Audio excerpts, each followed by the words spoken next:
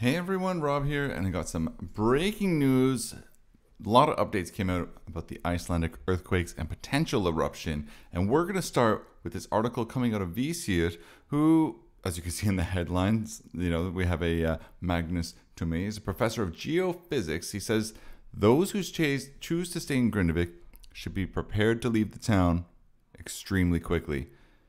Now, the volume of magma is similar to that on the eve of the eruption in December, which happened on the 18th.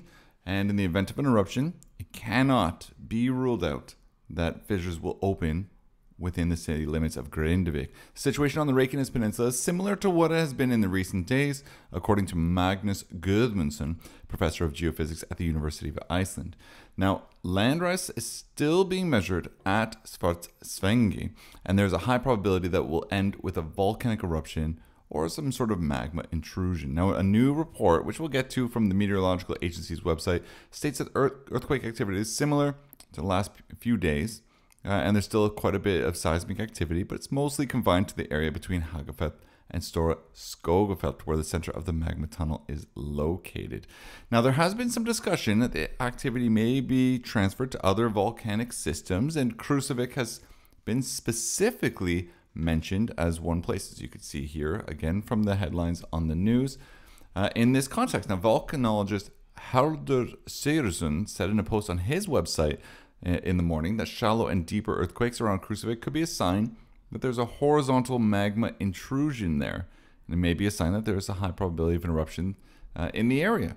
Now, Magnus says, however, that neither seismic activity nor deformation data indicate that anything like that is happening.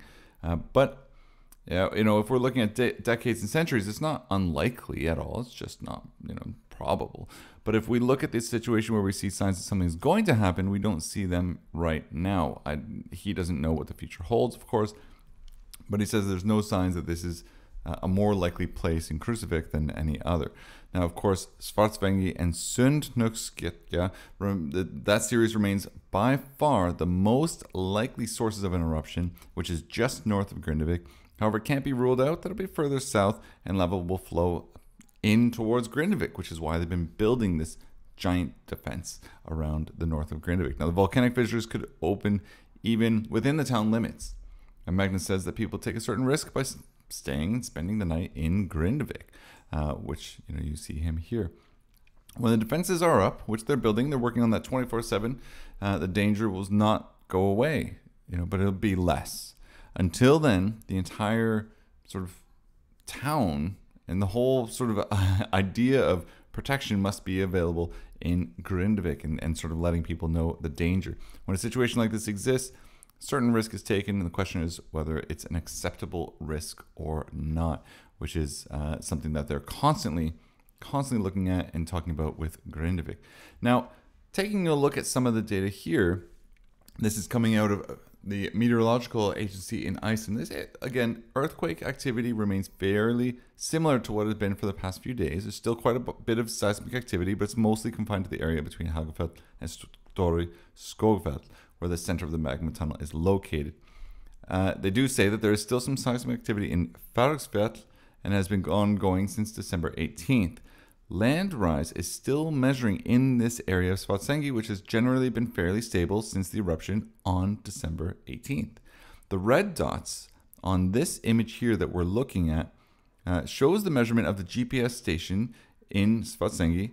Land has risen approximately 5 millimeters per day recently and the level is now about five centimeters higher than it was measured before the magma flow on and sort of the earthquake series on November 10th and of course December 18th of last year and you can see all of these these charts down here model calculations that they've made based on the deformation measurements which is using a combination of GPS and satellite images indicate that the volume of magma that has accumulated in the horizontal magma intrusion under Svartsengi since December 18 has now become similar to the amount that escaped and flowed from there and formed the magma tunnel that erupted last December 18th. That means that there's an increased risk of magma flow in the next coming days.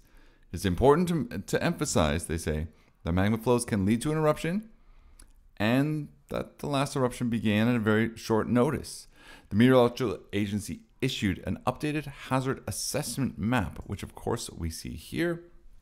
And they did this on January 5th, and it will be reevaluated again on the 12th, so just a couple more days away. Now, relative measurements of the GPS station in Svartsengi from the beginning of October 2023 in the north, east, and vertical directions, so it's the you know top, middle, bottom. Um, and then, of course, they have a, uh, a bottom curve which uh, shows the land rise in millimeters.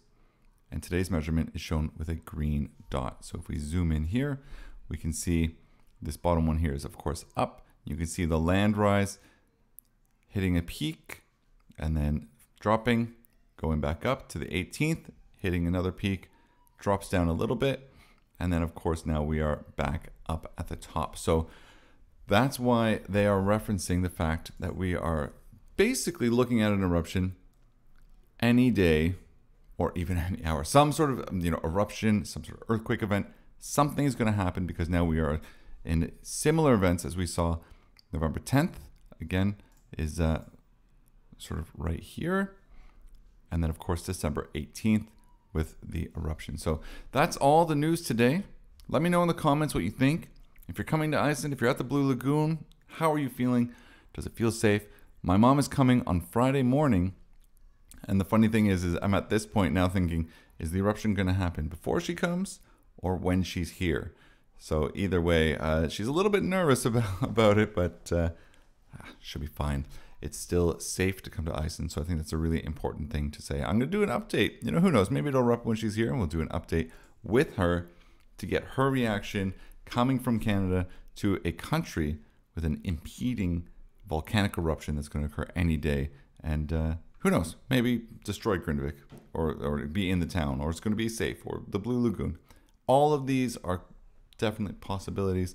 So it's important to uh, to keep in mind what everyone's saying. The last thing that we want to take a look at seismic activity that's been going on in the area. As you can see, there is very little, and there's a good reason for that. In Iceland, it's been very windy, the weather's been terrible, and these meters and measurements that they're getting, it's very difficult to detect smaller earthquakes when the weather is just really crappy. So we've had high winds, and that's the reason that we're seeing seeing a very sparse seismic activity when compared to uh, to what we've seen previously.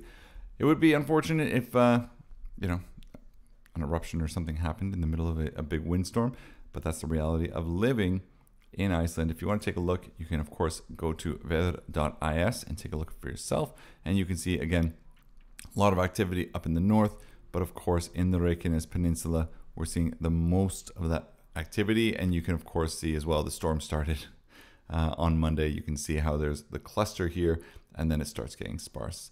In the north, not as much of a storm as we have in the south, so that's why you're getting that. So that's it for the news. I hope you enjoyed it. Again, leave stuff in the comments if I missed anything. Let me know how you're feeling, and thank you so much for watching.